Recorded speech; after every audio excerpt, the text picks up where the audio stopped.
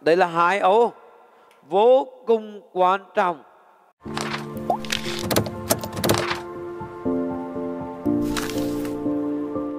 Nó quyết định sự thành bại của doanh nghiệp chúng ta. Và trong khóa SSC chúng ta dành ra một ngày để chỉ có ô vuông tròn này thôi. Và ở công ty của mình ấy, ô vuông tròn bất kỳ chỗ nào cũng có. Nếu chúng ta không thấu hiểu khách hàng thì chúng ta chẳng bán được cho khách được đâu cả. Ví dụ theo các bạn giảm béo là nằm ở ô vuông hay ô tròn? Ai nói ô vuông giờ đây liên minh? Giảm béo. Ô vuông một, hai, ai? Ba, bốn, năm. Ai nói ô tròn giờ tay lên cho mình giảm béo là một dịch vụ nó nằm ở đấy này, bắt đầu bình phân tích này. Giảm béo nó tạo ra nỗi đau gì? Nỗi đau đó có thể là thiếu tự tin. Nỗi đau đó có thể là trong bỏ. Nỗi đau đó có thể là trong ngoài tinh, nỗi đau đó có thể là mất việc. Vậy bây giờ chúng ta mới phát hiện này, có một nhóm phụ nữ sau sinh, hay đó là hồ sơ của chúng ta là phụ nữ sau sinh, tức là phụ nữ có một, ít nhất là sinh một đứa con, ví dụ như vậy. Vậy thì phụ nữ có một đứa con thì khoảng tuổi đâu đó 25 đến 40 đi, chẳng hạn, đúng không? Vậy là khách hàng mục tuổi của chúng ta là những người phụ nữ, có một, hai con, xong ở các đô thị. Và bắt đầu chúng ta mới thiết kế này, ra các cái sản phẩm này bây giờ họ, nỗi đau của họ là trong ngoài tinh đi chẳng hạn. Vậy bây giờ bắt đầu sang đây là bắt đầu chúng ta mới thiết kế sản phẩm dịch vụ về giảm béo này.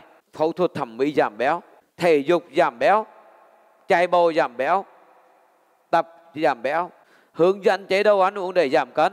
Ví dụ như vậy, rất nhiều thứ đó. vậy thì bây giờ lúc này, năm điều khiến các ông chồng ngoài tình. Điều thứ năm, phần lớn các bà vợ không biết. Điều thứ ba, ông chồng nào cũng dính phải vậy các anh chị thấy này? Chúng ta có phải bắt đầu từ nỗi đau của khách hàng không? Vậy bây giờ những cái bài vợ đang hạnh phúc, nó đọc thử mấy con, mấy ba vợ đang bất hành bà đang gặp cái vấn đề gì? Những bà vợ đang bất hành vào đọc thử ông trong mình có phải vậy không?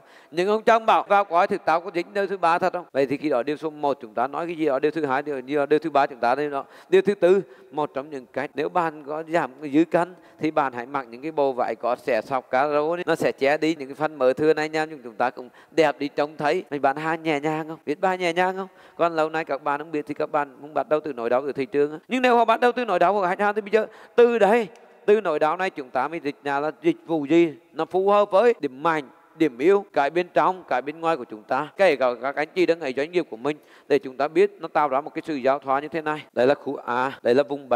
A, đây là những điều thị trường cần. B là những điều chúng ta có. Bánh mì là cái có thể ăn được. Cái gì có thể ăn được? Đó là cái thị trường cần và cũng là chúng ta mạnh chúng ta có. Và cái này ở trong kinh doanh ở trong doanh nghiệp chúng ta gọi là USB USB là unit selling price là điều khác biệt độc đáo. Mà chỉ chúng ta có. Ví dụ điều khác biệt độc đáo của khóa học này của mình là được những cái được đúc kết từ kinh nghiệm thực tế thực tiễn của doanh nghiệp của mình và đặc biệt ở đây có sự tham gia chia sẻ của những doanh nhân của những diễn giả trong mỗi khóa học nữa mà không phải chỗ nào cũng có. Thì lời thầy khác biệt độc đáo của chúng ta là gì? Nó nằm ở cái USB đó. À, chúng ta thiết kế như vậy bên trong và bên ngoài. Bên ngoài cần gì? Bên trong chúng ta có gì? Cái phần giao thoa đó là cái bánh mì. Còn bánh mì kẹp thịt nữa chứ. Vậy thì các anh chị thấy không? Giống kiểu cái chỗ này á, nếu cái thằng hỏi, anh Bình ơi, em định mở dịch vụ kinh doanh phong trò thì Bình có trả lời được nó không? Vậy bây giờ các anh chị thấy những cái câu chuyện hôm qua này, Bình thuật phát từ nỗi đau này của những người đi ở trò là tối về còn phải nhà cửa, cơm nước, mệt mỏi. Vậy chúng ta bắt đầu từ nỗi đau của khách hàng để sinh ra cái này. Mô hình kinh doanh của chúng ta là phục vụ những người đi ở trò thấy không? Nó khác khác hoàn toàn nữa các anh chị đây thì hãy xuất phát từ nỗi đau của khách hàng, đừng có bắt đầu từ sản phẩm và dịch vụ. Nó bắt đầu dịch vụ cho thuê phong trò còn chúng ta đi ngược lại là chúng ta bắt đầu từ nỗi đau của khách hàng, đúng không? Hai con đường cho hai kết quả khác nhau. Ở thứ ba, channel. Những cái kênh của chúng ta. Chúng ta có những kênh nào để chuyển hóa những cái giá trị ở số 2 để khách hàng mục tiêu của chúng ta ở số 1. Các cái kênh đó có thể là kênh YouTube, kênh Facebook, kênh Zalo, TikTok. Các cái kênh đó có thể là kênh nhà phân phối, đại lý, có thể là kênh chờ, tập hóa, siêu thị. Tất cả những kênh nào đó để chúng ta đưa được cái sản phẩm, cái thông tin, cái dịch vụ của chúng ta tới khách hàng gọi là kênh. Ở thứ 4, Customer Relationship chúng ta duy trì mối quan hệ với khách hàng của chúng ta như thế nào? Có thể chúng ta duy trì mối quan hệ bằng telesale, bằng trong khám khách hàng, bằng quà tặng, bằng việc nói chuyện với họ thường xuyên qua email, và bằng nhiều cách khác nhau. Ở số 5, dòng doanh thu của chúng ta đến từ đâu? Thông thường chúng ta làm kinh doanh bây giờ hầu hết các doanh nghiệp của anh chị đang chỉ có một dòng doanh thu duy nhất ờ, từ việc bán sản phẩm hoặc dịch vụ của, của mình và đó là cực kỳ rủi ro cho doanh nghiệp của chúng ta. Ô số 6, cây resort, những nguồn lực chính của chúng ta. Chúng ta có những nguồn lực nào để tạo ra các dòng doanh thu ở ô số 5? Chúng ta có những nguồn lực chính nào để tạo ra các mối quan hệ với khách hàng ở ô số 4? Chúng ta có những nguồn lực chính nào để tạo ra các cái mộ cánh ở ô số 3? Chúng ta có những nguồn lực chính nào để tạo ra các cái giá trị cho khách hàng ở ô số 2? Chúng ta có những nguồn lực chính nào thấu cảm và thấu hiểu khách hàng của chúng ta ở ô số 1. Nguồn lực của chúng ta có thể là nguồn lực về vật chất. Nguồn lực về vật chất có thể là nhà cửa, máy móc, kho xưởng. Nguồn lực phí vật chất đó là những băng phận minh sáng chế.